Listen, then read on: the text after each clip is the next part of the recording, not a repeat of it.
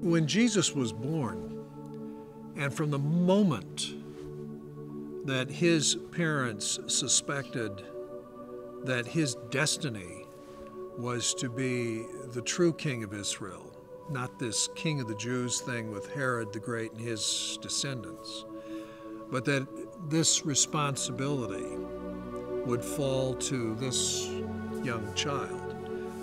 I have no doubt this was a fearful, fearful thing, that they would have recognized the dangers.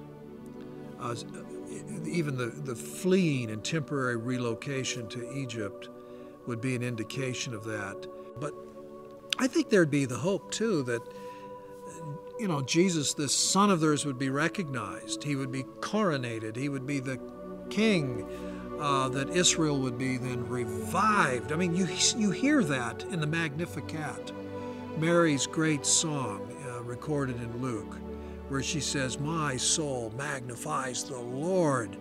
And she alludes to prophets, prophecies, and promises to the patriarchs. There's not a hint in her great song that she anticipates that her son will suffer. But a, a very spiritual man speaks prophetically to her, a man named Simeon. And he sees in this child redemption for Israel a blessing for Israel, but a pain that will pierce Mary's heart.